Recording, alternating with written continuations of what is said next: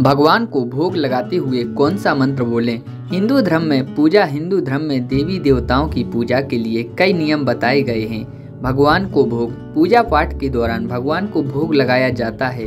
भोग के बिना पूजा पूरी नहीं होती। भोग के नियम आज हम आपको बताएँगे कि भगवान को भोग लगाते हुए किस मंत्र का जाप करना चाहिए।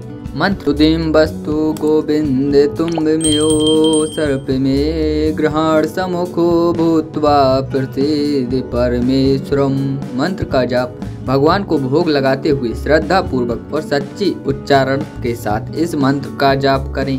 मंत्र का अर्थ है, हे ईश्वर, मेरे पास जो भी है, आपका दिया हुआ है। आपका दिया हुआ आपको समर्पित कर रहा हूँ। कृपया इसे ग्रहण करें और मुझ पर प्रसन्न हों। सात्विक भोजन। ध्यान रखें कि भगवान को हमेशा सात्विक चीज़ों का ही भोग लगाना चाहिए।